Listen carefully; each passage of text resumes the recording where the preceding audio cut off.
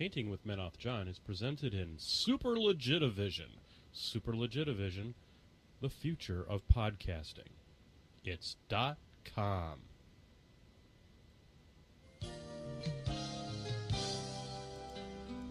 Hello, I'm Menoth John. And I'd like to welcome you. First of all, let me take just a moment to thank you for allowing me back into your homes. If this is your first time with us, let me extend a personal invitation for you to drag out your miniatures. and paint along with us each week. Let's go over to the canvas here and, and let's get started.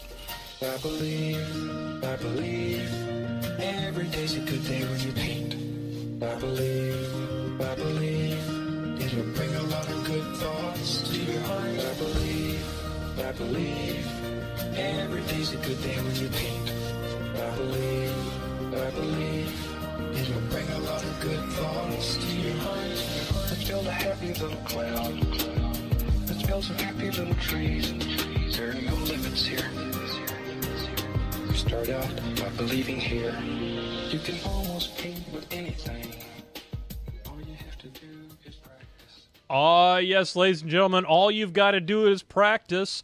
And I'm going to tell you, we're practiced for tonight. Holy cripes, we're coming at you. We're going to use our stereos. We're going to use Dolby 84.6. Um, so we've got all the bass and we've got all the trebles and, and several woofers. So there you go, ladies and gentlemen. We are back and better than ever. And I have to tell you that there are a few things better than the Sunday Night Extravaganza. And as usual, joining me in the cat box seat up here. You know him as the mighty right hand of the podcast. You may also know him as at at John O. Spencer. Jesus Palomino. That is the co-host with the most, Mr. John Spencer. Heyo! Hot damn, that's right, ladies and gentlemen. Suck it, the guy that used to be with Johnny Carson. So anyway, I'm having a trouble with names tonight, John. Ed McMahon, fucking a. All right, ladies and gentlemen. Well, we just got our, our explicit tag at t minus t plus 45 seconds and counting. Welcome everybody from the D6 generation who's tuning us in for the first time. Hope your kids weren't listening to that one. So anyway, um, you know, ladies and gentlemen, we've got a very exciting show lined up for us, uh, and we're going to get into that here in just a second. But before we do that, we are want to know what we're having to drink tonight because I haven't had enough to drink, and I'm going to have some more. So um, I am Menoth John, and of course, I am going to be drinking tonight a little shot of the Kraken out of a the K glass from the Kraken Shot Glass Collection. John, what will you be having? Uh, well, I'm going to start off with a shot of uh, Captain Morgan's Cannon Blast out of a Painted Without John shot glass. Very nice. And then I have more beers to uh, follow that up afterwards. Well, on behalf of all those beers that are going to follow it up afterwards, and everyone that has joined us live in the Painting with Menoth John chat chat room, hey Ron, Ron. mm. liquid lubrication. It is fantastic, ladies and gentlemen. We are happy to be here tonight. You know, we do this we do this once a week. John, are you aware of that? I am aware of that. Okay. Well, you know, it's important that you be aware of that because if you're going to be the mighty right hand of the show, that means you have to understand the schedule and how often this show happens, which is every Sunday night at this time. You know, we pre ramble for a half an hour in order that we not suck as much when 7 o'clock comes up. And uh, we pre rambled today and everything went fine. Yep. It was really good, aside from an internet hiccup, but uh, we solved that. Absolutely. You know, John, if you are interested in what just took place not more than four minutes ago, you could join down here, patreon.com slash menothjohn.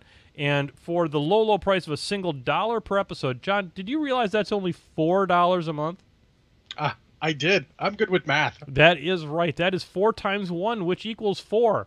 And uh, that is uh, my public school education coming out to uh, pay dividends, folks. Uh, four, it's a magic number. Fuck you, three. Um, and, uh, you know, we'll give you that for a buck, but if you want the real value, it's not the best value, but it's better value. Um, we're making the internet great again at the $2 level, and that means that you're going to pick up the co host corner. John, tell us a little bit about the co host corner. Ah, well, you know, it's my bi-weekly, semi-weekly, who knows how long I can, how often I'll do them, uh, podcast where I talk about movies and uh, dojo and working on some other segments. But right now, uh, next one has going to have me reviewing a Korean movie called War of the Arrows, Very nice. and then uh, teaching Kev Bryant why he should play with Idrians in his mercenary list. For Christ's sakes, That's right, folks. If you want all the skullduggery on the Idrians, that's the two dollar level over there at patreon.com slash John. If you want to kick it to the next level and get to be part of our exclusive crony inner circle at the five dollar level, not only will you get the sticker that you will get at the two dollar level, you will also get one of these crony inner circle bottle openers to open your favorite beer or other alcoholic or non alcoholic beverages. They work on both, John. And do. They do. And as long as it's got one of those kind that you can go like this with, you're all set. And uh, you and you will get our exclusive uh, hangout that we're going to be doing pr- maybe next week, John. What do you think? next week uh, sounds good. Just let me know in advance so I can make sure the work knows. Yep, I got to figure that out on the Googles. I think I'll have time this week to get after that. So we're going to look at that first $5 patron level Google Hangout uh, this week, and we will do all kinds of fun stuff. Also, coming to a theater near you um, at the $10 level is you would be able to write stuff for the, or at least uh, tell the spokesmodel what it is you want to have said on your behalf at, during the, uh, the the spokesmodel portion. Now, John, we don't have a spokesmodel tonight. Nope, nope. Our our ten dollar patron is uh was content with the first one, which is good because it was epic, and you should all go check it out. Yep, it's- it. all about design space, folks. If you like design space, you're going to love that one. Now, I'm not talking about the last one. It'd be two episodes ago, right, John? Correct, two episodes ago. Ah, there you go. Um, if Bowie, if you give at the ten dollar level for uh for a month, um, you damn Skippy, I'll do a tap dance. Anyway, um, I'm Oh, total horror. on video. Think about that. Uh, exactly. Could be had. Um, it- you know, John, I don't have much of a, a political career ahead of me, but that would make it even less. I don't think tap dancing would make it any less than the rest of this podcast and our somewhat salty language. There is that. You know, some of those people don't like this language we use. But you know, you know what, folks? We we always use it in a complete sentence, which is important because we are Fucking always right. educational. That's right. We use all of our uh, foulness for the benefit of those who are around us. So you know, the people who are currently running for election here in the United States right now, um, they're foul on the inside. We're foul on the outside. So we're bringing you that. So. Um, you know, we've got all Oh. kinds of great stuff like that. You know, we John, we also have sponsors. Were you aware of that? I was aware of that. we have several right. sponsors. That's right. You know, folks, you know, one of the thing ways we're going to make the internet great is if we all use the metric system, John. Yes, that'll make America great again. Well, you know, I'm, I. I'm not sure we can make America great anymore. We tried, and you know, but that's other people's business. We're going to try to make the internet great again, and we're going to bring it to you in metric. I'm, we're, you know, that bits and bytes are part of what computers use, John. I am aware of this. Yes. So if you call, if you get a hold of Adam at Greenleaf Terrain and you ask him for a gigabit of terrain, he will give you that in metric gigabits. You know, he's not going to use, um, you know, drams or anything like that. He's going to give you the metrics, and he'll per, he'll get you a uh, a linear obstacle out of 64 gigabits, and um, he might even try to use a, a, a centiliter in in part of it across the top, you know, as it, it, to give it some some spikiness, and that would be a great way to have a, a you know like a linear obstacle because it would be very showy in 3D. So I'm not sure where that was going, John, but a but little off the rails, but that's that's par for the course. Adam at Greenleaf Terrain, he'll hook your shit up with all the metrics. Um, then we have Flight Medic Painting. You know, in all seriousness, folks, if you need your stuff painted, um, you know, Flight Medic Painting, he's going to give you the, the best deals on the best paint jobs. He really is. Right now, uh, Flight Medic is um, he's he's a little laid up. He had some surgeries, and surgery is not cheap because we are not in Canada, and uh, so he is uh, he's looking for a little bit of uh, he's out of work right now with that injury, and since uh, you know we're not Canada, he's got himself some hardships that he's going on. He's got a great family. Um, and so, if you need your stuff painted, I highly recommend Flight Medic Painting. Uh, John, you have put that that uh, up in the past. Actually, Flight Medic has put that link up in the past. Oh, but right on top of it, as usual, the co-host with the most. I don't know how I would do this show without you, John. But Flight Medic Painting, he'll paint. He paints reds amazing, greens amazing. He'll paint a purple that'll knock your damn socks off. But he'll paint whatever color you need it to be, um, in case that it's none of those three are what you need. So give him a shout. He will paint stuff up for you in America and send it to you in America or other places if you ask him. So there you go. Uh, you know, KR Multicase. Um, Sherwin has moved on from the K- KR Multicase. In case you were not aware, Mr. John Spencer. I was not aware. Yes, he has moved on. He is now full time with the Steamforged. Um, Oh, so good. while they are technically still our sponsor, we're not sure who our sponsorship is actually being wrangled by anymore. Um, Well. we're not sure they're aware that we're a spons- that they're sponsoring us. To be honest, um, so KR Multicase, it's still great, even if they That's don't know who we are. So that's a slogan. Um,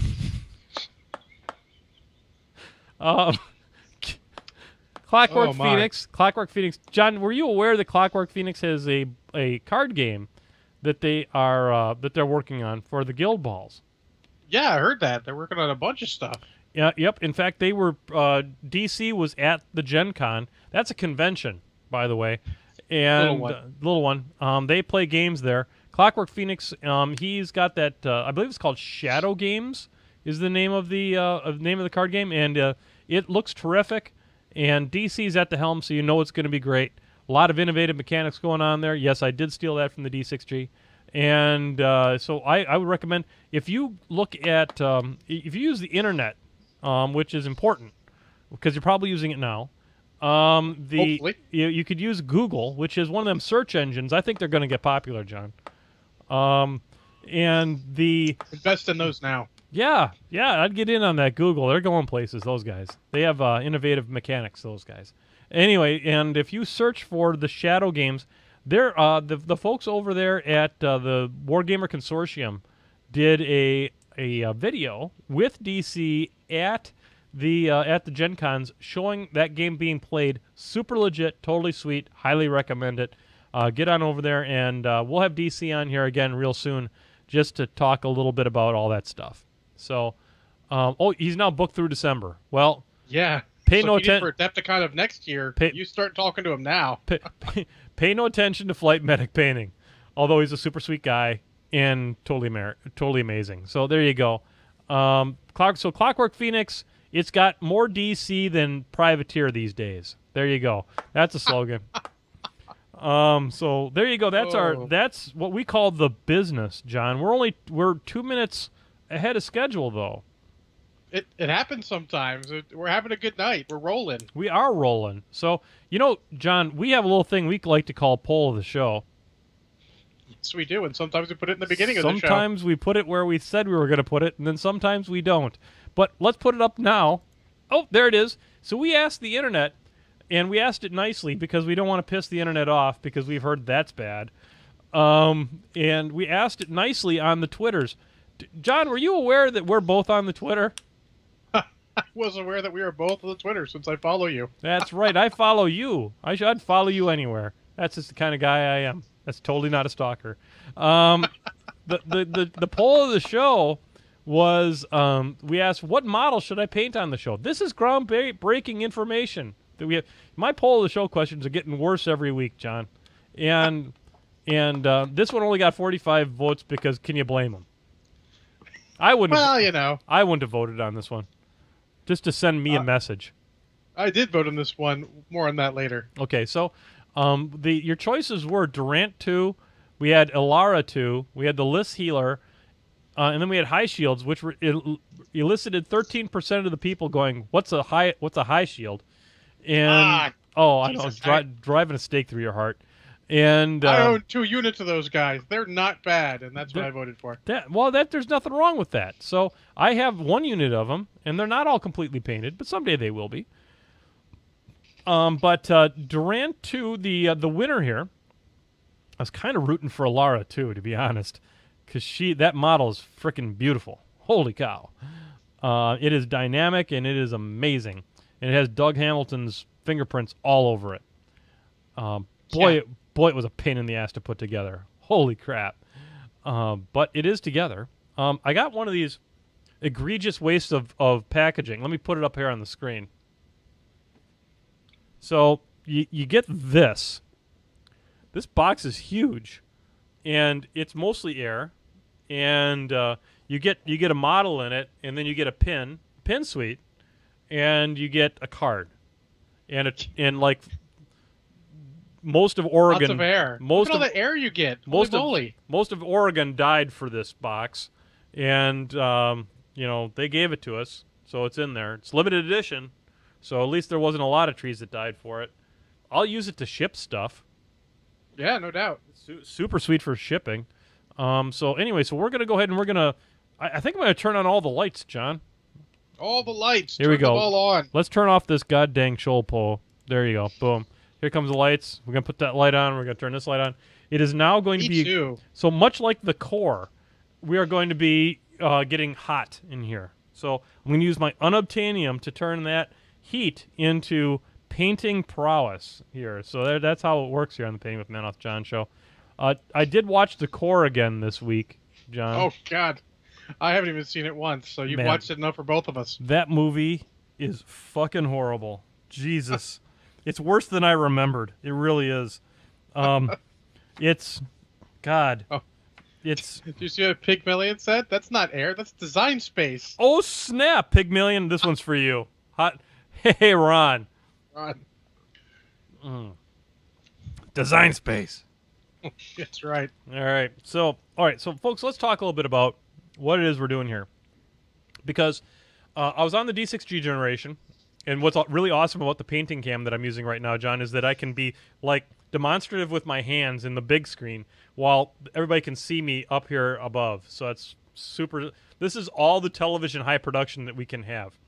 Um, so, ladies and gentlemen, if you remember, this is Durant One. This is the version of the model that came with the. Uh, there, there was a game. In case you missed it, it was called Warmachine Tactics.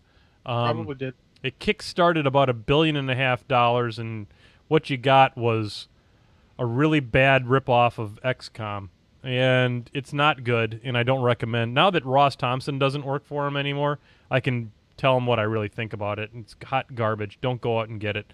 Maybe if it was free, I'd I'd play it, but other than that, um, anyway, so here you go. He's it's a it's a good model. Now this was one of the uh, lesser warcasters or junior warcasters, I guess they called them, and uh, it's really a nice model. I- I love the dynamic pose. I love the the folding of the cloaks and stuff like that here in the back. Um, just a great model, and so this is kind of where we came from, and what we were what they they sculpted. This is his final form, and uh, this is Durant two. He's all grown up now. He's been through the painting, the uh, the protector, not the painting of Menoth, the pro- the protectorate of Menoth, um, sort of uh, Starfleet Academy, if you will. And he got his he got his warcast real warcaster armor, and this is what he is. But one of the things, along with painting this model, that I wanted to talk a little bit about, John, was how did I get to this point? Because I did this with airbrush, and it looks like it, and it's not near where it needs to be. But I wanted to talk a little bit about some things you can do with an airbrush that are super sweet and totally legit. And the first thing we want to talk about is priming. And priming is something that is a very, very important step in the, the preparation of a model. We talked a little bit about it, I think, last time we talked, to, you know, with the scrapings and all of that nonsense in the assembly thing. But the, after you get done with your assembly, you have to prime the model because without priming, the paint doesn't stick as well. John, have you uh, have you seen models where people have not primed the model? Uh, I have, and I've got uh, multiple experiences. I have one buddy, Frank Thompson, who does not prime models, and they turn out freaking awesome. I don't know what he does, some sort of magic, but his models turn out awesome without priming. I've seen others where the paint just starts to flake off. So Yeah, uh, and and he probably is doing a lot of steps without the priming. He's probably doing a lot of steps to prepare the metal to be ready to take the paint, which means he's probably doing washing and a lot of scrubbing, perhaps, to make sure that there's not a bit of mold release anywhere on that model. On on these plastic models, these restic models of privateer presses, I think that it's very important to prime your model. I think it's in mm-hmm. general a good practice. And my primer of of record, the one I enjoy the most, is from Badger. It's Stynylrez, and it is a polyurethane primer that is applied with an airbrush. So what does that do for you? I I think that the airbrush primer, in my opinion, gives me greater control over you know holding it and getting into all the nooks and crannies, and it's it's thin enough that I don't really have to worry about covering up the the details of the model, and it but it does a really good job of of giving you a, a nice even surface without covering up a lot of that detail. You know th- that's the biggest for for new primers and new people who are starting off in the hobby. Applying too much primer is one of those early sins that you will commit, and Mm. it will get gloppy and it will get it'll hide the detail. And folks, especially on these new Restic models, there's not enough. The the detail is sh- a little on the shallow side, and you want to make sure that you don't do that. And this this Stynylrez, as you can see here on the painting cam, does a nice job of not hiding that detail. But John, there's another step on here that I've already done on this model that kicks up the detail a little bit more. Yep, that looks like that zenithal priming you've been talking about. Exactly. I'm a huge fan of this, folks. This is the zenithal shading. Um, for those of you who are watching from the D6 generation, this is the thing that uh, that uh, uh, Craig referred to as blackwash. But in what I do with it is not a washing technique. This is actually a an application of paint onto the primer. So, uh, while I'm not disputing what Craig was was calling that technique, it may be just the opposite style of technique than what I'm what I'm doing here. Rather than applying taking a white paint uh, in a white primer, I should say, and then doing a black wash to it, I'm actually taking a light gray color and applying that to the to the black primer. And as you can see, it does a great job of picking up all of the detail that you see here, and it helps to highlight where your highlights ought to be. If it's a little redundant, but you know you get my drift.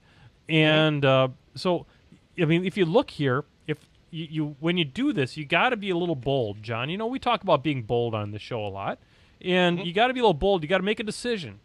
And the decision you've got to make is where is the sun going to be on this model?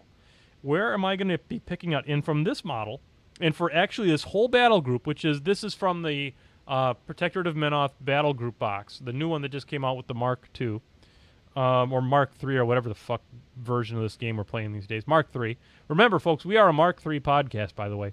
And if you see a brush head, you give them the Mark III, and then they know you're a brush head, or you're from a gang in prison or something. And uh, the I chose to, for this to come at it in this angle here, which is why you will notice that you'll see a little bit more whiteness on here, and you'll see a little bit more darkness back over here because it's catching that. Okay, and this is going to be key in your next steps of painting. Okay, so I've for my for my jun- junior uh, for excuse me my journeyman league, this is as far as I'm taking my battle group right now, is because I want to show my PG. I want to show okay here they are, they're assembled, they're primed, they're ready to party. Okay, the next step is what I'm showing here, and this is the th- this is the next step in the airbrushing. And what I've got here is this is a, a guys. If if you're at a, a major con and you have a, an airbrush, Badger Airbrush Company. These are not the greatest paints in history, by the way. I'm just going to put that out here. But they're damn good airbrush paints. And they have a very wide range and they're very affordable for the whole range. I think I paid 100 bucks for 60 or 70 paints. And they're this size. They're, they're um, two ounce bottles, I believe these are. Oh, no. So these are one fluid ounce bottles. Okay? This is a shot. This is a shot of red. And uh, what I did here is you'll notice that you'll see some darker bits down in here and you'll see some bits. I'm hoping the camera's picking up on this a little bit.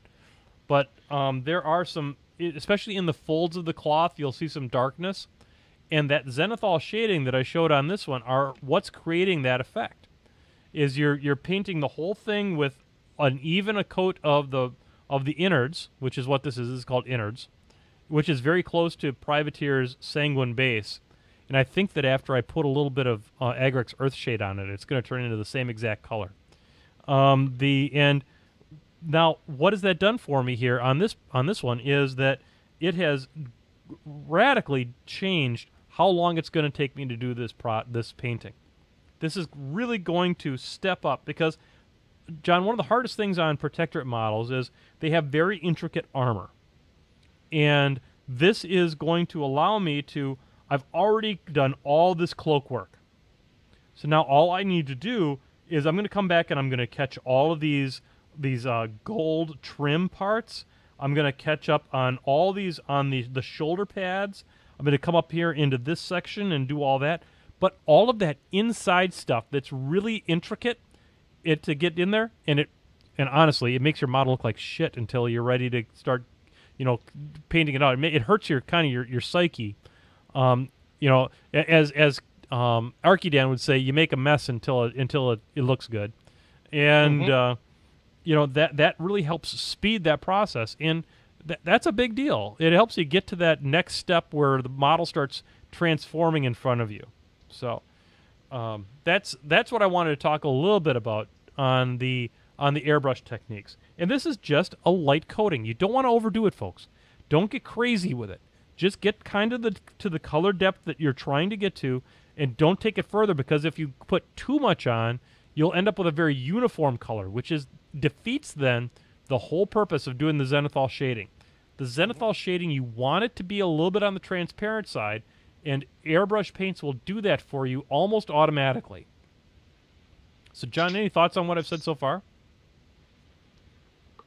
No, no, absolutely. I mean, honestly, airbrush is a little outside of my uh, realm of expertise. Okay, so let's let's talk about where we're going with this model. Um, first off, so you know, as as uh, tell a little story here while I'm getting myself some some booze. Uh, Archidan puts down here, work in progresses are the devil, and they are. And where I learned that was actually when I was a team leader for General Mills, and uh, uh, one of the older, more experienced team leaders told me one time, and, and it was about we're talking about cleanups because after the run of cereal, you'd have to do a major cleanup, and the cleanup would take three shifts, and so 24 hours to clean the whole plant. And he goes, if you if the whole place does not look like garbage until the last four hours of the cleanup, you're doing it wrong. You should be destroying the place until the last four hours, and then it all comes together. That's a lot like painting a, a model. Is that Mhm. it may look a little rough up until those last few steps, that that detail work, where the the real the the real detail work is where the the devil is, and that's you know you got to stick with it. You got to be strong. Now, like I said earlier in the show here, John, I have this is the original Durant, and then this is his his new buddy. So what we want to do here is, in order to, we want to be conscious of our of our color scheme. So I want my Durant two to, to echo my Durant one, and I think that folks, if you're a beginner painter, that's something that you want to be, you know, think a little bit about. Is how do I want this to fit into my overall scheme? Now, um, this is another model I've done pretty recently, and this is the the Hand of Judgment. And so, as you can see, Durant 1 and the Hand of Judgment, while being painted at relatively different times, are at least reminiscent of each other. Mhm. Okay? So, we're going to echo that now out to here, but I want to pick up some of the detail that I have here on the Hand of Judgment. I like how these shoulder pads turned out with, and this is the coal black with the troll blood base highlights. And so I'm going to echo that back over to here. And likewise, the the the I really like how these shoulder pads turned out with the gold and things like that. I'm going to try to bring that in over here to echo some of the shoulder pad work that I did in through here. So, and I want this spear to turn out exactly like the one he's got in the new one. I'm going to paint them identically because that is the same weapon he has, and I don't want it to change. So that's what we're going to start off with tonight, and those are some of the thoughts that I have when I'm sitting down to to paint a model. So, um, John, what do we got for questions? Let's go ahead and let's do some. Uh, well, thank you very much, by the way, on the jack. Uh, I'm very proud of how the hand of judgment turned out, and I love showing them off. So uh, that is the prototype for all my future uh, warjacks. My entire battle group that I'm going to do for my journeyman is going to be done like this. This is where she's headed, ladies and gentlemen. Sweet. Well, before go questions, I want to throw a couple comments. And taking your painting lessons from earlier models and adding them to later models is really the core of painting. And you can pick up a lot of tips by looking at um, GW used to do a whole bunch of articles. Like if you pick up their old painting books, any painting book on painting models, you can take little bits of what they did with the model and apply them to all your models. So if you find those cheap or whatever, just or if you have a website, someone giving you a little tutorial on something, pay attention, take a look at it. That's how you're going to get your your next idea for uh, how to do something, and you can take it and apply it to so many things. Yep. Now, uh, one of the things that I do is I like to use my wet palette an awful lot, and um, the reason I like to do that is because it's it's very good for blending and things like that. You're going to notice I use a I tend to use my metallics out of the pot because they tend to work a little bit better at, at a little bit thicker. But now, folks, I'm doing this. Uh, I'm I'm doing this, and I'm starting with some of the inner parts here, like the shoulder pads. Uh, gonna put the gold in. I'm starting at the inside of it. I'm starting on the inside of the shoulder pad because that is going to allow me to to if I make a mistake to fix that as I work my way out. So Yeah, you can fix it quicker and easier. Uh, you paint like you say, you paint like you dress. You know, inside out. I don't usually dress inside out though, John.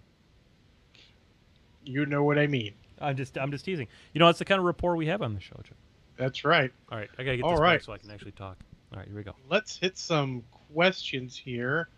Um, da, da, da, da, let's see. Here we go. Let's uh, let's start with uh, was it Michael Flanagan? He says, "What painting have you wanted to do but not committed to?" What painting have I wanted to do but I've not committed to do? Yeah, what paint scheme? Oh, I I would love to do. I would love to do a green scheme like what I saw uh, Flight Medic do on the most recent Brushhead Gallery. The the green that he did on his uh, on some of that uh, Khador work that he had was breathtaking, and I just right now do not have a, a gr- I don't have an army that that fits into very well. Although, although I will tell you that I have yet to start my hunters, and that for the guild ball, and that might just be the perfect place to employ some of that green that I saw uh, Flight Medic do such an amazing job with. Yeah, green armor bits look super cool, and then you can go with like brown cloaks or something like that. Yep, exactly. What about you, John? What have you been kind of had your eye on but have not yet committed to? Honestly, I don't. I don't actually look at paint schemes and go, "I'd like to paint that," because I'm fairly realistic in my skill level, or even maybe uh, humble in my skill level. I'm definitely still beginner painting wise. I could do some decent stuff. Um, I just don't generally commit to anything, anything that looks too complex. I'm sure I'm looking forward to simple. I'm sure looking forward to you getting your painting uh, set up back up there, buddy, so that you can kind of join us here on the Sunday night ex- extravaganza and do some painting a lot right along with us. Yeah, well, I'm, working on that. I got some downstairs painting done. Like I said, I've been painting some guys up. Uh, but yeah, I need to get back into practice so I can actually uh, get those skills leveling up.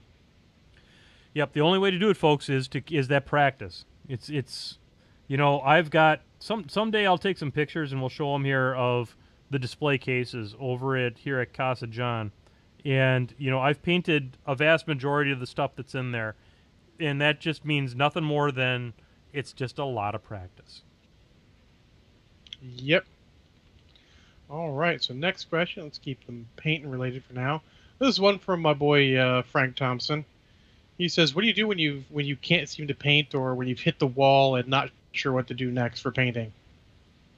Um, you know, I hit that, that wall more often than not, Johnny. You know, people, you you think with a with a son- with a show like we do here each and every week that you wouldn't hit a wall, but you know, I we went. I've probably gone about two or three weeks now without picking up a paintbrush because of life and things like that. And there's nothing wrong with that. The the the, the thing to do is that if you need to get yourself back into it, find a model, maybe not even a model that necessarily is something you need, but that fires your imagination. Um, you know, the the hand of judgment. Let's take that one for example. That is such a beautiful model. Pick something that is or or pick a model that has a technique that you want to try. You know, like when I was doing uh, John, when I was doing the Glacier King, you know that was a model. That was a model that that kind of had me ask the question, how can I do a good-looking ice? And that's what led me to do that model the way that I did with the the artificial water effect and and all that kind of stuff. So I think the one way to get out of that is one, don't force it, but find something that is is going to make that painting more of a play session for you than necessarily work. What are your thoughts, John? Um, honestly, if I hit that wall painting, I'll just go not paint for a while. Mhm. Um, that may not be the best way to do it, but uh, I'll go maybe assemble some stuff, play some video games, something just completely different.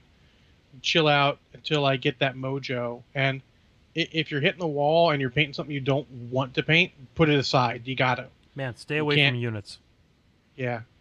You, you got to do units when you've got your mojo or you're committed to them. Go back and paint something you want to, something fun, even something simple. Sometimes just going like, this guy's going to be literally washes and dry brushes. That'll get your mojo back because it's simple. You see the progression quickly. You don't get frustrated. You're like, boom, I'm getting it done. This is awesome. I'm ready. Let's get back to it.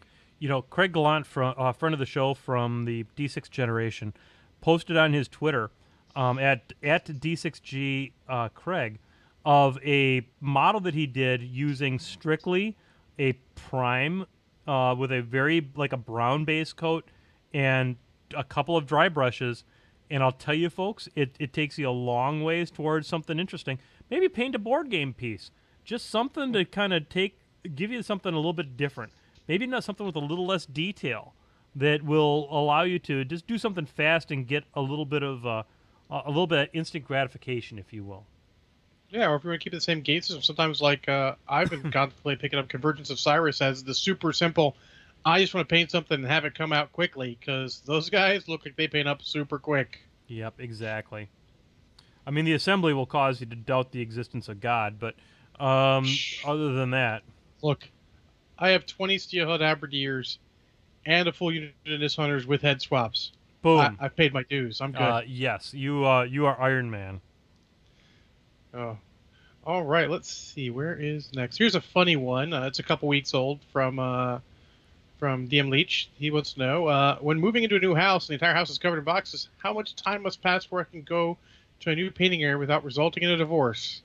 Well, given the fact that I have two divorces, um, and I have one. I have no friggin' idea. Um, I would say that the most important thing to do is to ensure that your wife slash significant other, partner, what have you, is um, you know take care of their needs first.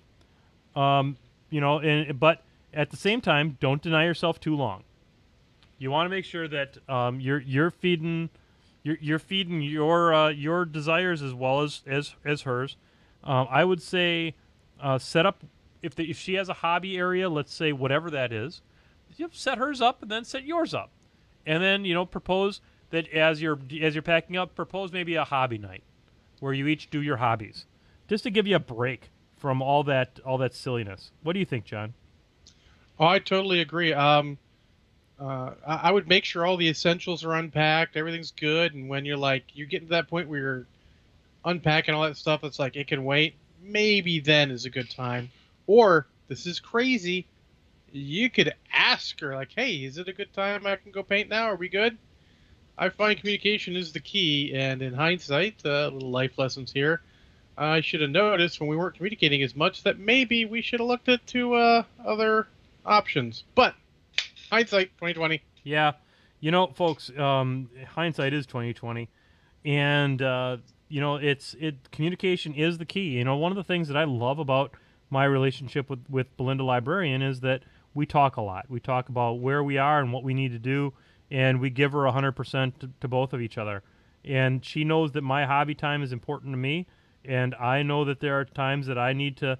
You know, she's got a lot of things around her house that need, she needs help with, and we give it we, we give and take on that um, because what's what's more important than my little uh, my little toy soldiers here uh, the fact that I've got a, a, a wonderful lady that that respects me and treats me good and you know I think that's the key just keep that communication going and the world's your oyster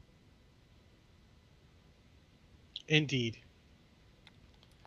All right. Uh, so next, let's get another. Uh, here you go. Here's a here's an airbrushy question that uh, maybe you can help with. there you go Uh, Dan White wants to know what do you thin matte medium worth with? Uh, he says more of an airbrush question than a otherwise uh, standard painting question. All right, so I'm gonna so total transparency here. I don't thin my paints for airbrushing. I use airbrush paints because I'm lazy, and because here's what I found is that unless I'm cracking open a brand new pot of P3, there's to be clumps in it. And clumps are the natural enemy of all airbrushes. The orifice that you're spraying these paints through is very, very small. And so what I tend to do is I use uh, these these pre-diluted airbrush paints in my airbrush, and I don't really use um, regular pot paints uh, for that reason. That being said, if you're gonna diluting a, a matte medium generally means that I mean a matte medium is tends to be a diluent anyway. So I would expect you'd be diluting it with water because acrylics are water-based paints and things like that. So there's probably only so much that you I mean obviously don't want to use any type of uh, an acetone or any type of an organic solvent of any variety on that because it's not going to be compatible with your other paints. But um, that would be my guess. But you know, really, when I've been when I've diluted pot paints in the past to extremely limited success, I might add, uh, I've I've used a little bit of Windex, um, and uh, and or maybe a little bit of water. But guys, spend the money. Vallejo makes an entire line of airbrush paints. Um, the and I think that and Badger, as I already mentioned on this show, makes some some really lovely airbrush paints. Use them; they're worth the money. Sean. Uh, well, I'm just gonna say, uh, Slow Fuse Gaming in the chat room says the best bet is to dilute matte medium with a simple airbrush medium, like Golden makes. Uh, so there you go. I listen to that person. I've never used it, um, and it's better. It's worth more than that ridiculously long diatribe I just went off on.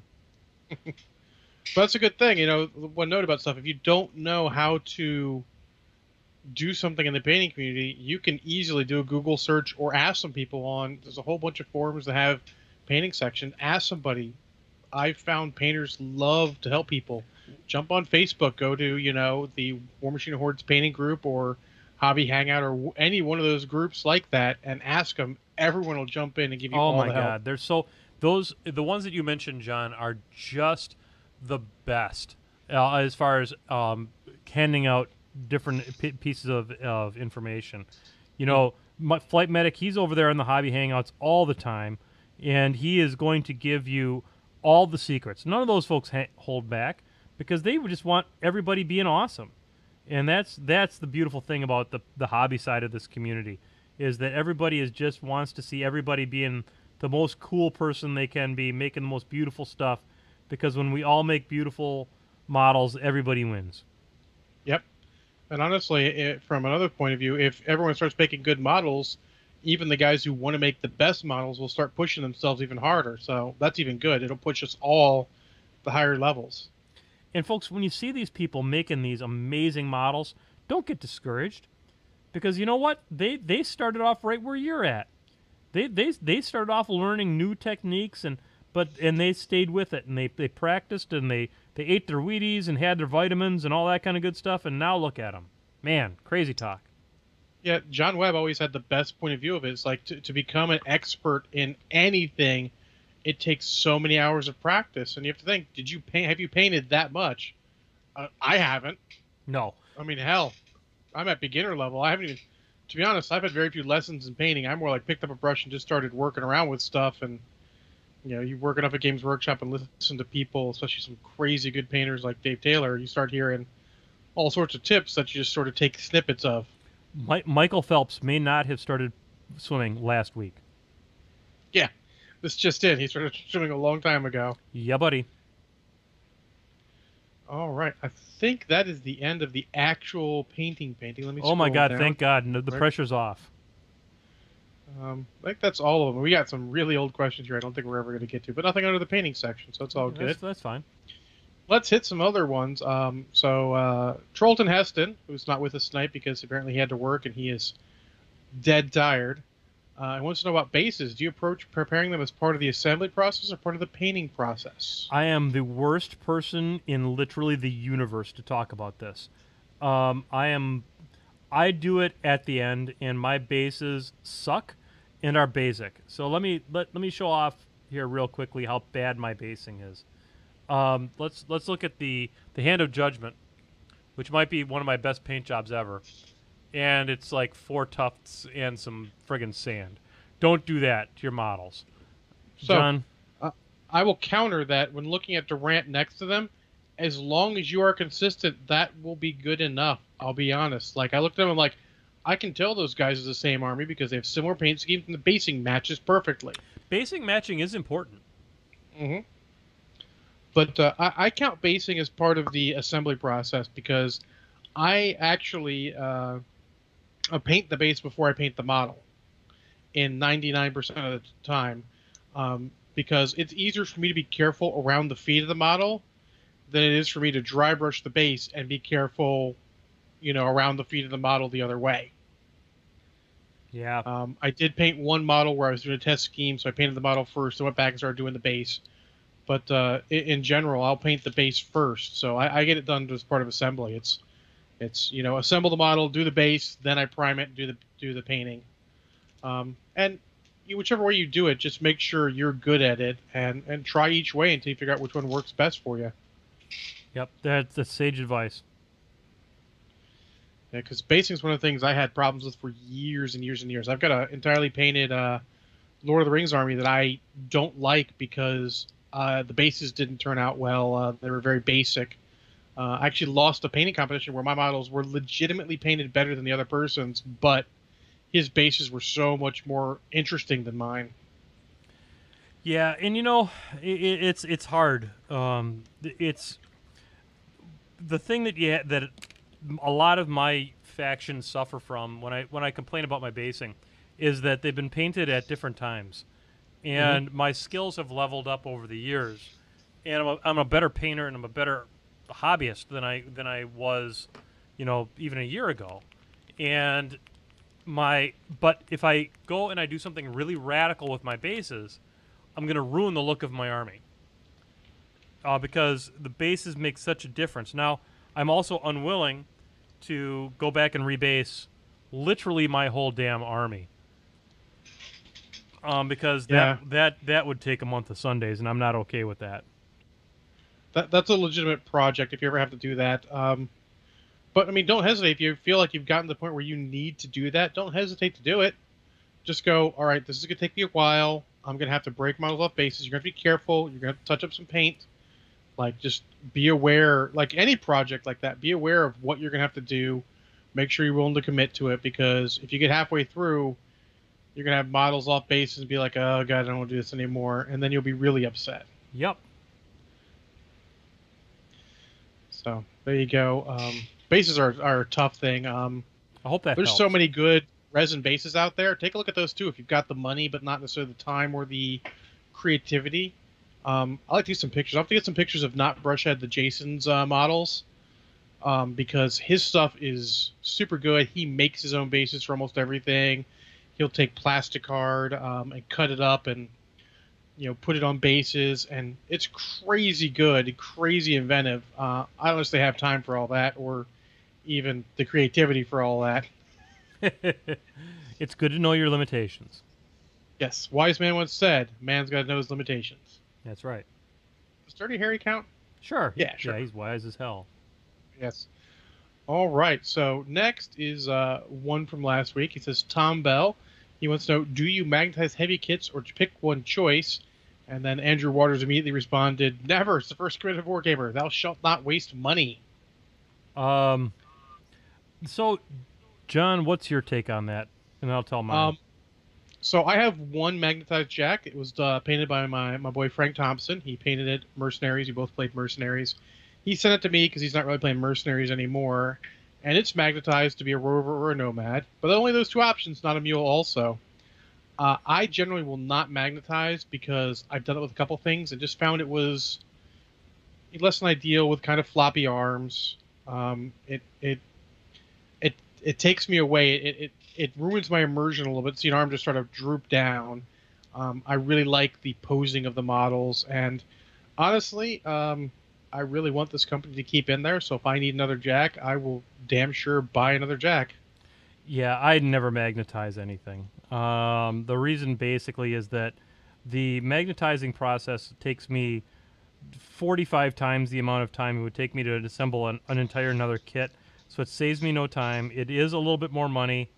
The I, I'm blessed that that economic decision is not one that I necessarily need to worry about. But I'll be very honest with you that I would rather make the decision to not spend the extra money. I mean, I, I would make the decision to to buy the next model rather than kind of get a model that doesn't really work for me terribly well. I mean, it's floppy floppy jacks make me sad.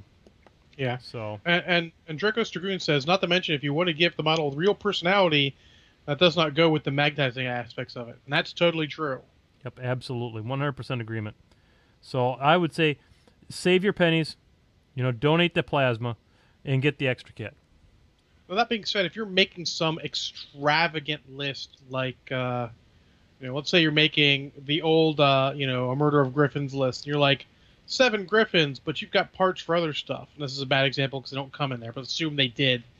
Uh, magnetizing those because you have way more than you're going to use in most lists would be fine. Yeah, You know, y- your your fourth Warjack kit, your third Warjack kit, whatever, you probably can magnetize that one.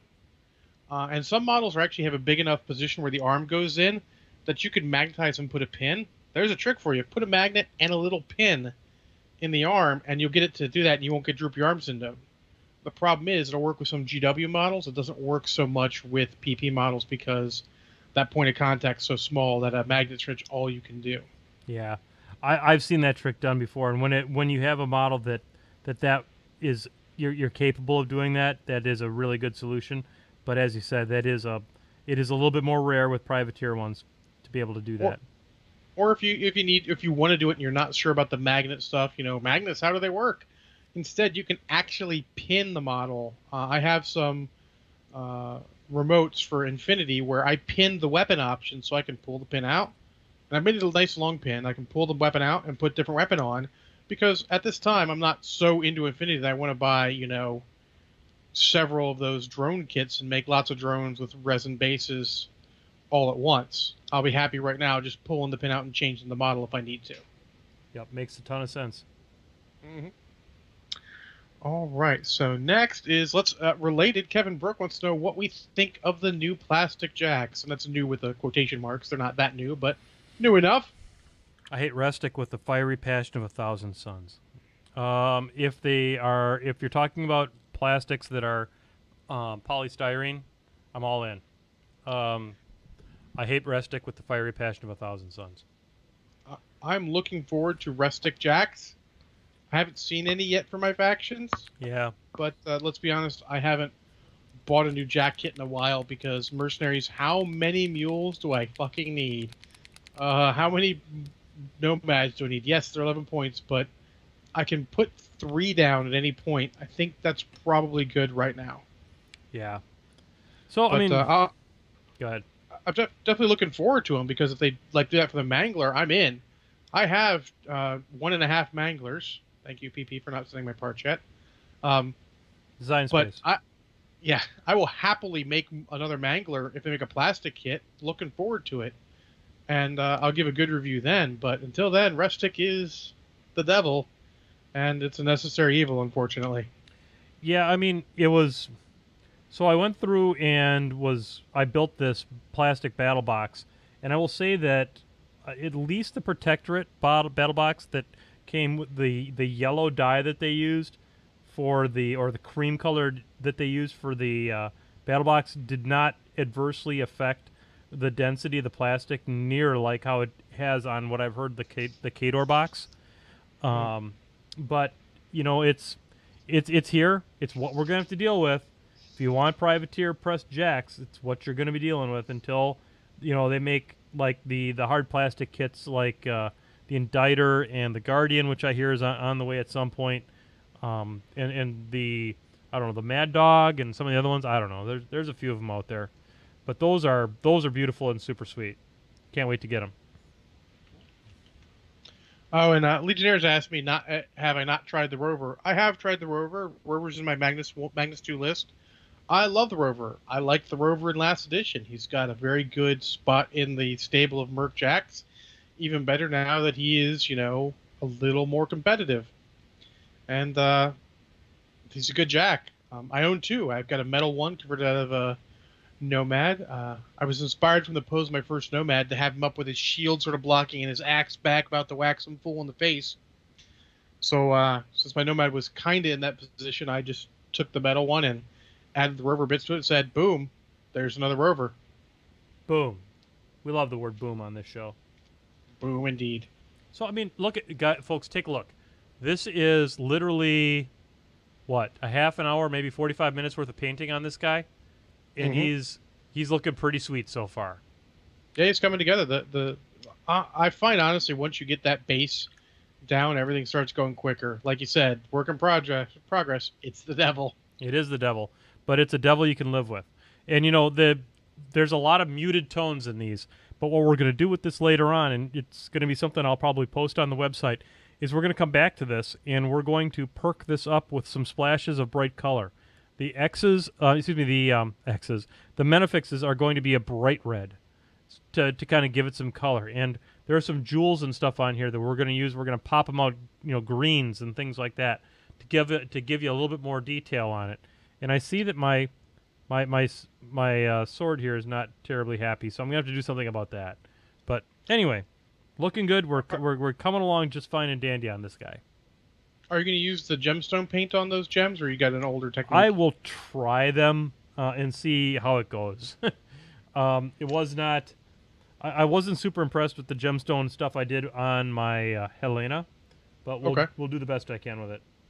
So uh, I'm trying a bold experiment. I bought one of the blues, and I'm going to try painting an entire Retribution Jack in that. Nice. Maybe leave some of the inner parts and see what that does. Because I've been super wishy-washy on my ret paint scheme, flipping and flopping and all that. And uh, I mean, I really that, wish I. Are you gonna use that as a base coat? Are you gonna use it as a base, base coat? Yeah, Holy shit balls!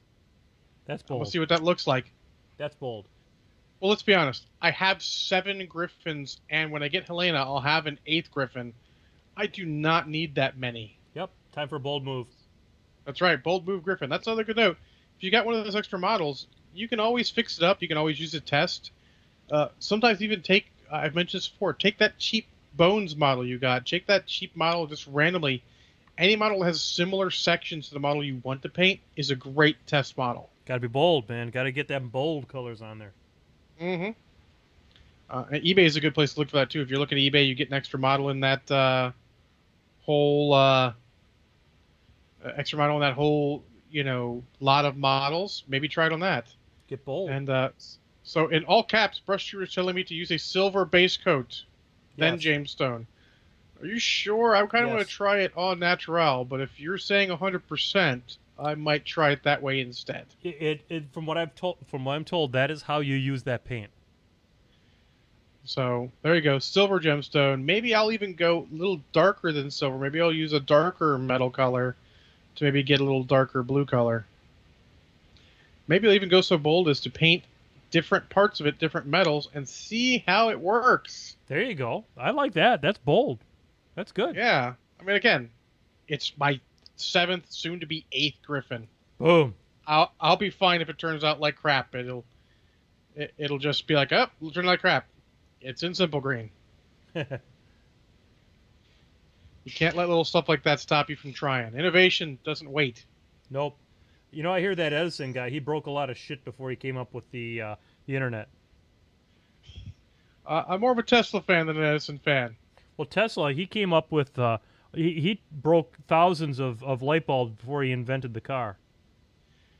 Yes, and and the death ray. The death ray. That's right. He had he was, which is like a manta ray but deathier. But death here, yes, indeed.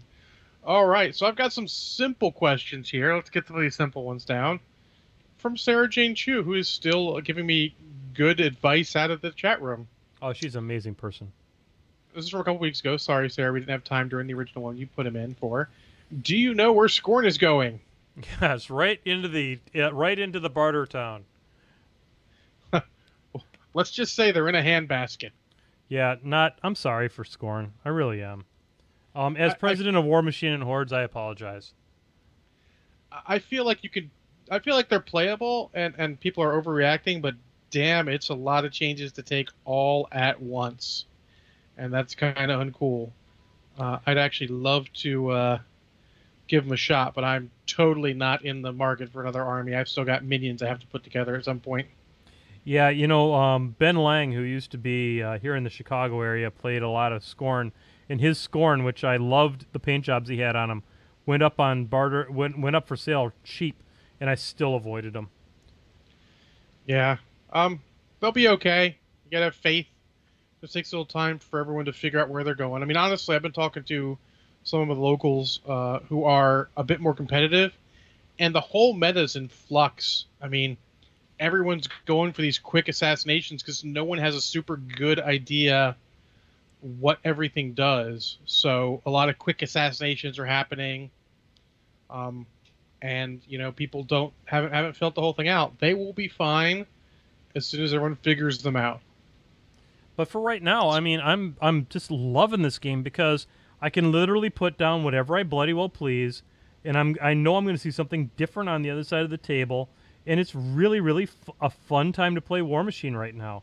Just loving it, having a great time. I'm having some of the most most fun games I've had in a long long time right now. Yeah, I'm I'm considering things I haven't, and actually I'm going to skip to a question that's in that particular vein. Pablo Miguel, oi, wants to know: Has the new Mark III made you consider playing something you'd never touched in Mark II? Oh God, yeah. I, I, don't think I played Idrian's like but twice in all of Mark II and hated them. In Mark III, I don't know how to build a list without them. They're they're You hated amazing. Idrian's in Mark II. Oh my God. They, they, well, I didn't I didn't hate them. I just didn't get them into my list. Oh um, gosh. They're but you know that okay. Wait, now they they were not as awesome as they are now. Let's be honest. I, I will honestly say they were awesomer. Oh, I disagree. Dude. Honestly, the best order that isn't in Mark III at all that I've Uh, seen assault and battery. is is assault and battery B- with prey being able to shoot and then charge that unit or another unit oh god i wish they had that i i bought two units to play them with magnus 1 and 2 because i'm like damn it they're super awesome i will get them in a damn list Yeah, assault and battery is pretty good, and I do miss that. Um, but they they did come down in in relative price a little bit, Mhm. and I think that that combination with uh, having them come down in price a little bit, man, they are so good. Man, Oh, I, yeah. that, for me, that was the unit that I couldn't seem to figure out a way to get him into my list. That now I am just loving every second of. i can't get them out of my lists Oh, how could you? How could you? like- in, a, in a protectorate list where they get to take advantage of all of the in in-faction spells, especially as Mark III has shifted to a much stronger in-faction uh, spell list type stuff. Oh my god! So it's it's such hot, dirty sex. yeah no doubt um, my big one is the Horgenhold Artillery Corps, Ah. I like to call it the one one unit in Mercenaries I actually do not own, but damn if it's not a high on my list now because that went from literally worse than Herne and Jonne for the same points to an actual legitimate legitimate piece that you you have to own.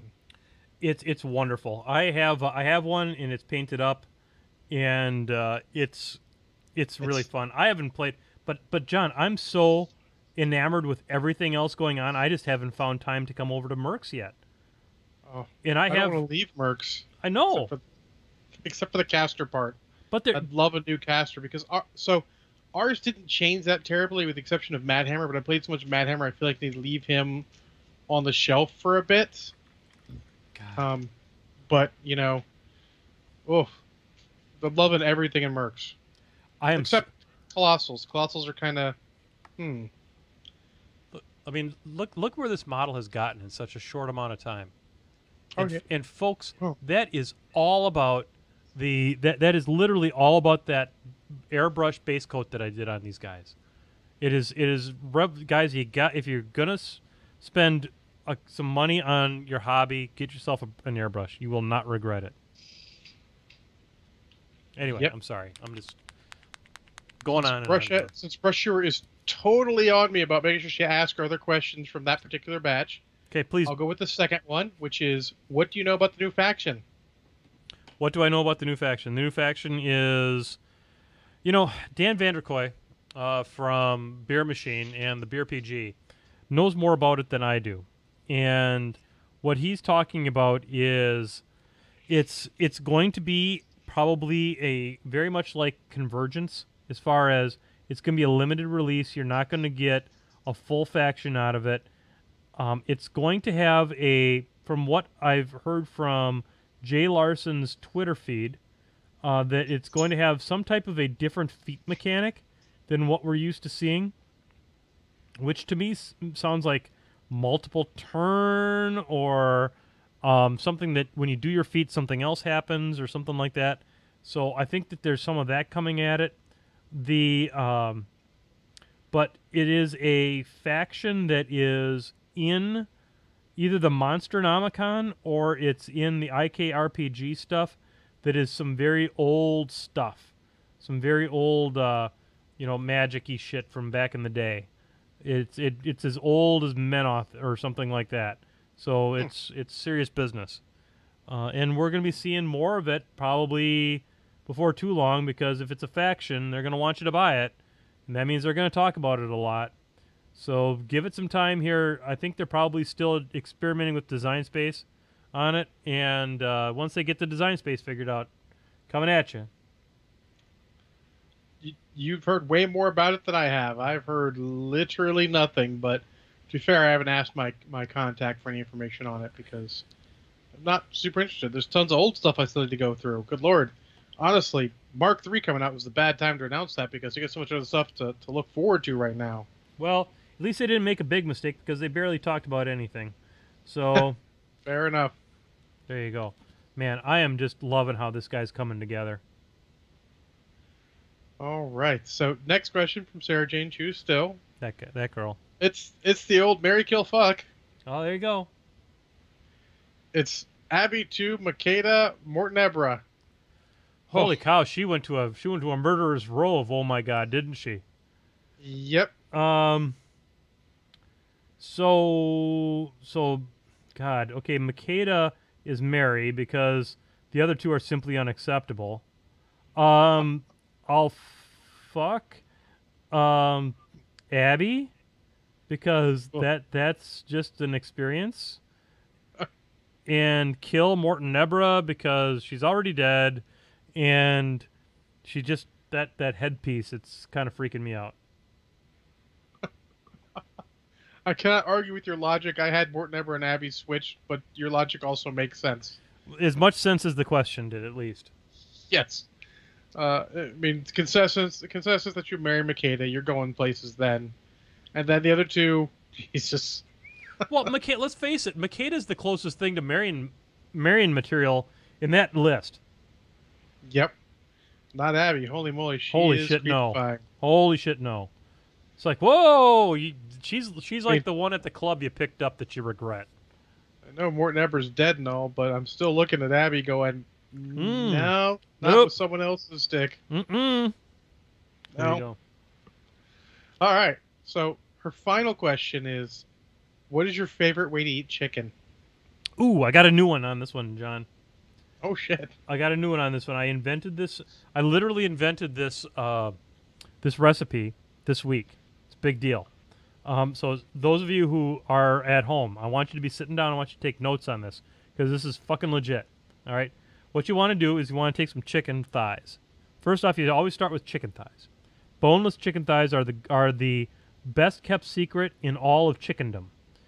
And the then what you do is you take and you put in um, you take there's a uh, a dry cured ham that's German called Speck, S P E C K, okay Speck, and you take and you wrap that around the chicken thigh, and you put toothpicks through it, so that it holds it on there. So it's like a bacon wrapped chicken thigh, and you put it on the grill, and it's freaking mind blowing. It'll it'll blow you away. It's so delicious. Um, nine out of ten people will say it's delicious, and the tenth person you shouldn't even talk about. But it is it's really good. Um, highly recommend it. You can call it Speck Chicken, or if you want, Menoth John Chicken. What's your favorite, John? Um, honestly, I really like grilled chicken. I do a lot of grilling chicken when I make it. Uh, uh, super simple. Let's be honest. Simple is the watchword for a lot of my cooking. Yep. But uh, can't argue with a good grilled chicken. Do you uh, do you do a dry rub or any other technique on it, John? Uh, I have both marinated it beforehand and actually marinated it in the pan, which I know you're not supposed to do, but Yeah. sometimes I'm cooking it and I'm like, eh, I don't want plain chicken. Where's my barbecue sauce? Squirt. All right, cook it that shit up. All right, so I'm gonna give you a secret here. See if you can find this Oh. in your local in your local grocery store. Uh, do you guys have Famous Dave's barbecue out by you? Hell yes. Okay, Famous Dave's steak and hamburger dry um, dry seasoning. Okay, it'll be in your seasoning section. Put that on your chicken. You're gonna love me for it. You're gonna love me for it. That stuff. It's for steak and stuff like that, but I'm gonna promise you that on uh, on a on a piece of chicken, it's gonna be legit. You're gonna love it. That is also, by the way, my favorite hamburger seasoning as well. So get that on there and then grill that shit up and say thank you, John, when you when you when you eat that. You'll notice I was taking notes there. I did notice that, and uh, and Belinda Librarian will tell you if I may not know a lot, but I know me some grilling. So you listen right on here. Well, I grill in a pan, not in a grill, because we don't have a grill yet. Well, you But can, I have a backyard, so a grill is in the future. Well, you can uh, you can grill some shit there. You can put uh you can put that in the oven, and it'll your your oven will thank you, and the Mhm. people who might be down the hallway will still like you because it won't taste like bad things. It'll ta- it'll smell good.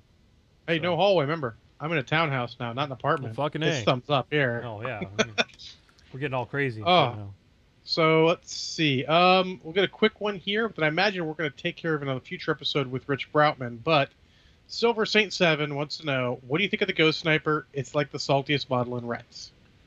I don't know, three points of damage. Um, that's pretty good. It's got stealth.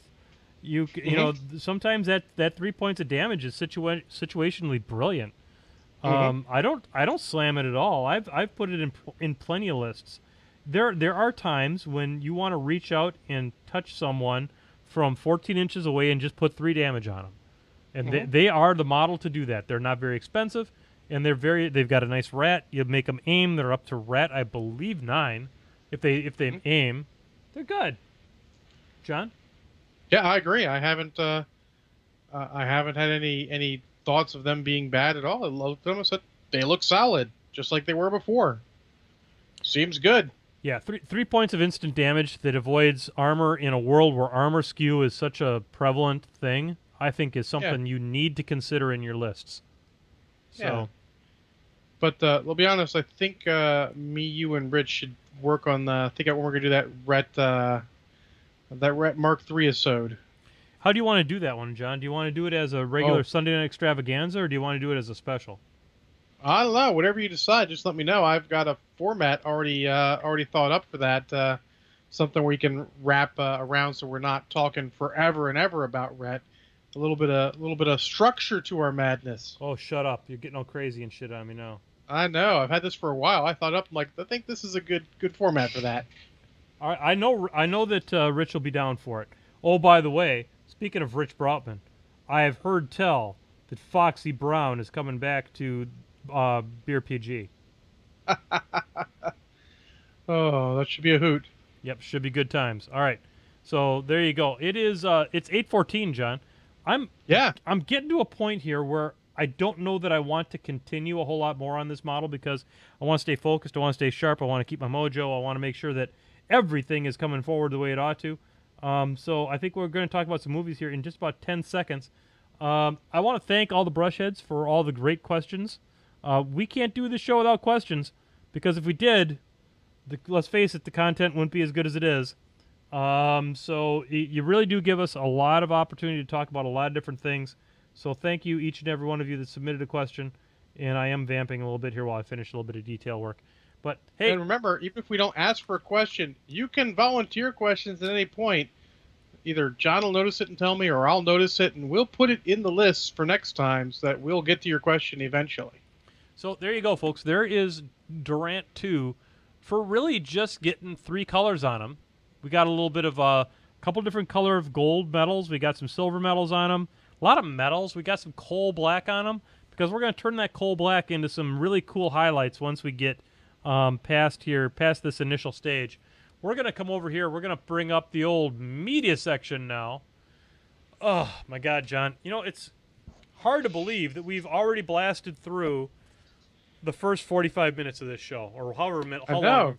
Oh, it's actually been more than that. It's like 70 minutes or something. I don't know. We it, there's math involved, and I can't be bothered. Yeah, we've flown through it, and boy, do we have a lot of stuff on the uh, on the plate here for you now. Uh, do you want me to start, or do you want to start with uh, your movie?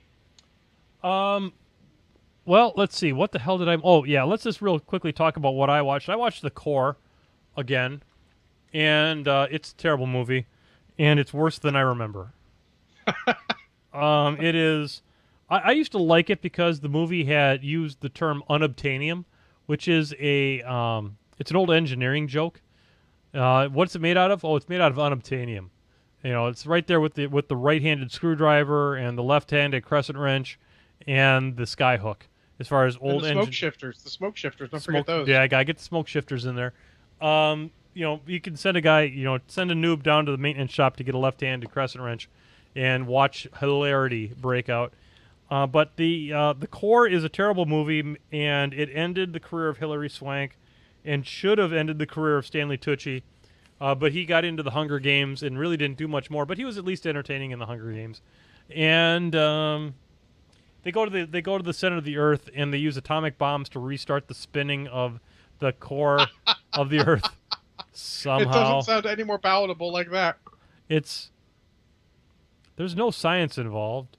Um, I would love, you know, I'm trying to remember back. I saw Neil deGrasse Tyson live, and I think he may have mentioned the core, but yeah, I'm sure it wasn't with anything good in mind. So, ladies and gentlemen, four shots of Kraken, the core.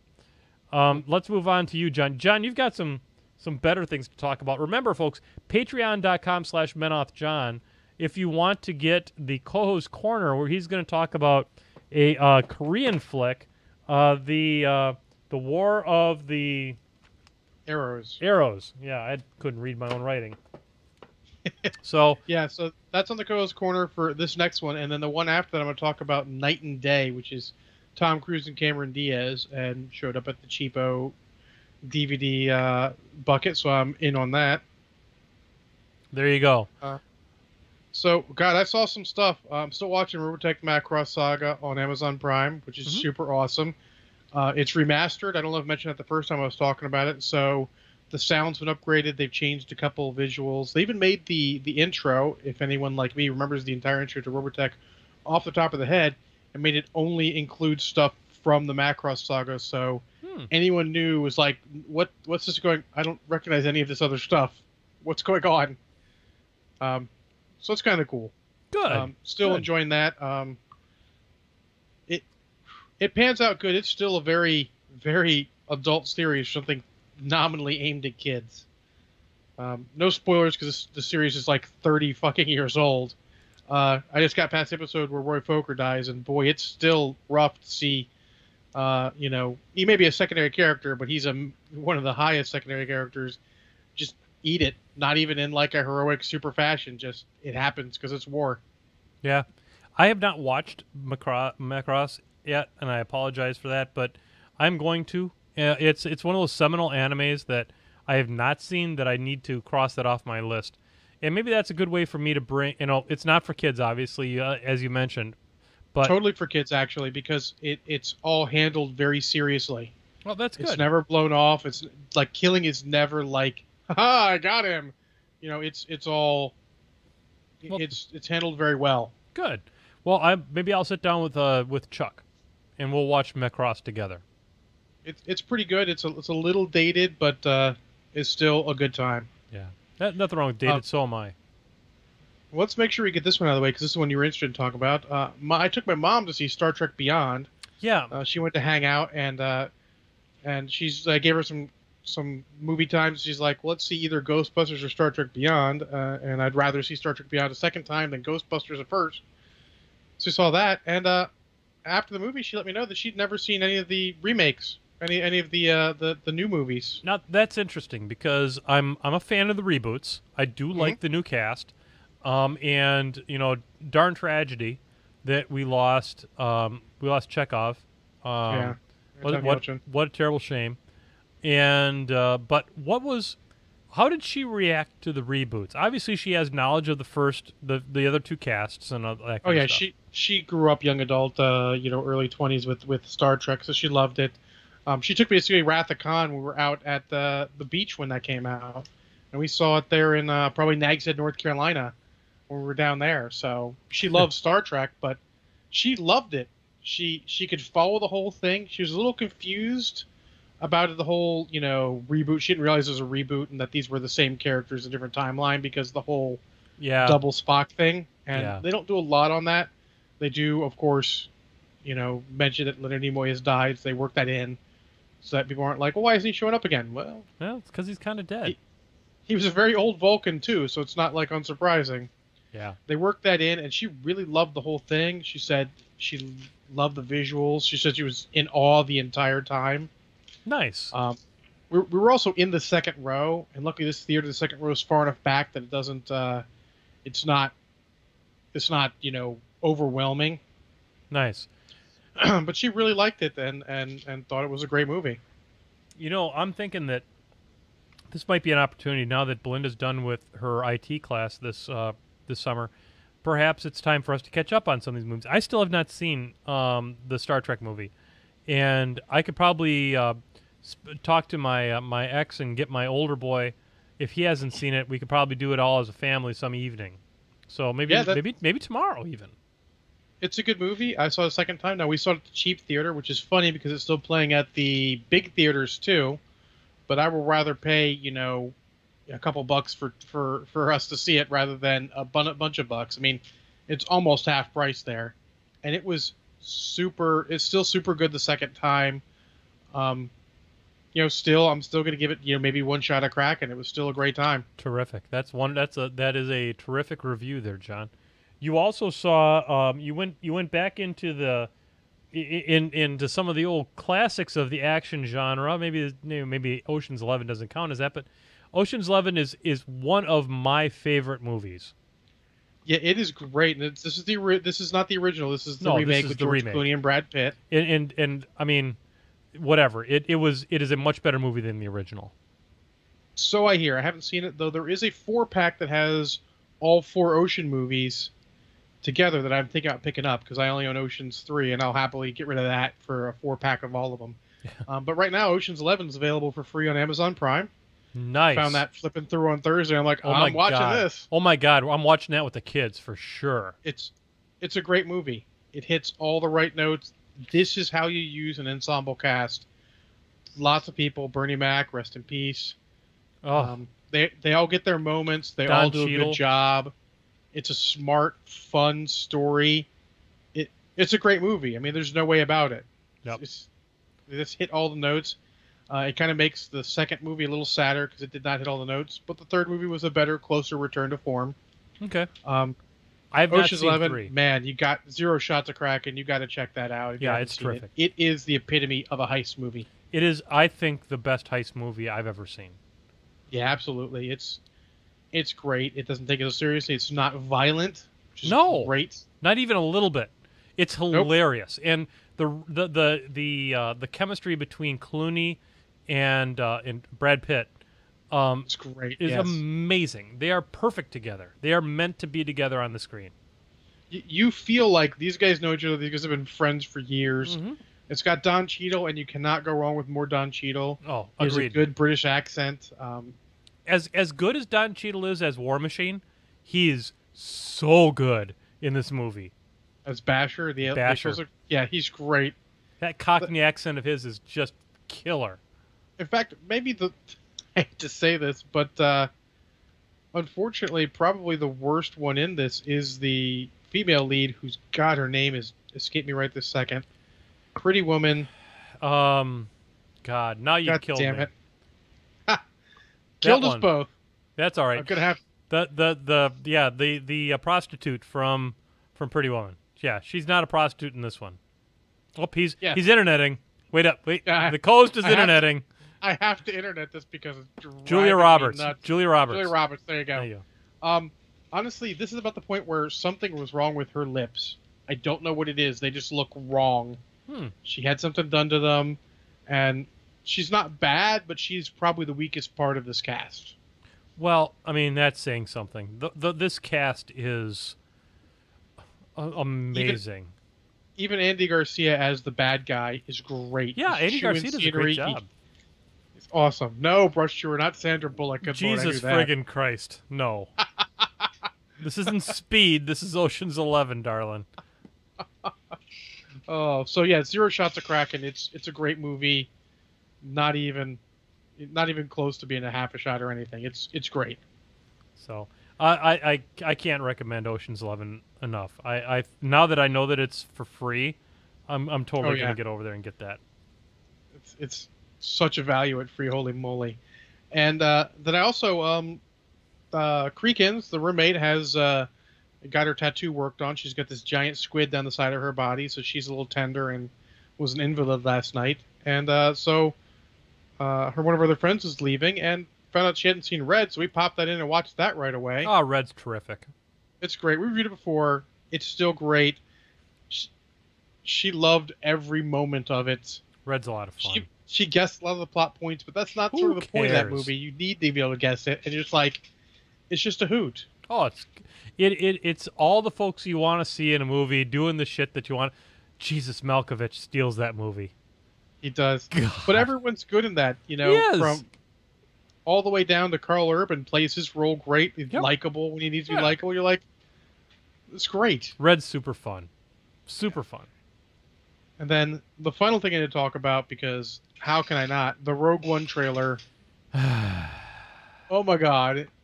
So it's super cool. It it kind of introduces you to the uh, the characters, but not in any any major way. You're just see most of them. Uh, Donnie Yen is a blind guy with a staff. I don't know if he's got the force or not, but he is badass. Um, All right, so it just looks like it's going to be fun. so I haven't watched it because I don't watch spoilers related to Star Wars franchise. Okay, am I going to be sad if I turn this on, John?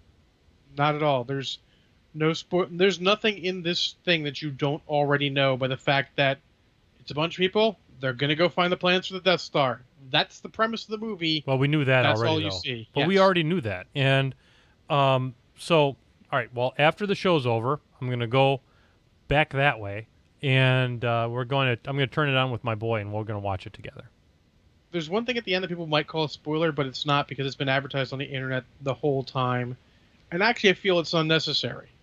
Okay. So when you get to that the absolute end of it, and they show something, you're gonna be like, "Oh my god!"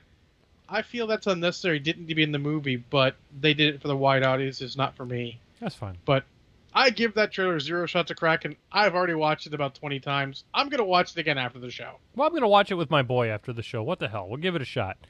Um, you know, John, what do you have anything else you want to talk about? I think that was all the ones we talked about as far as on the uh, on the show here.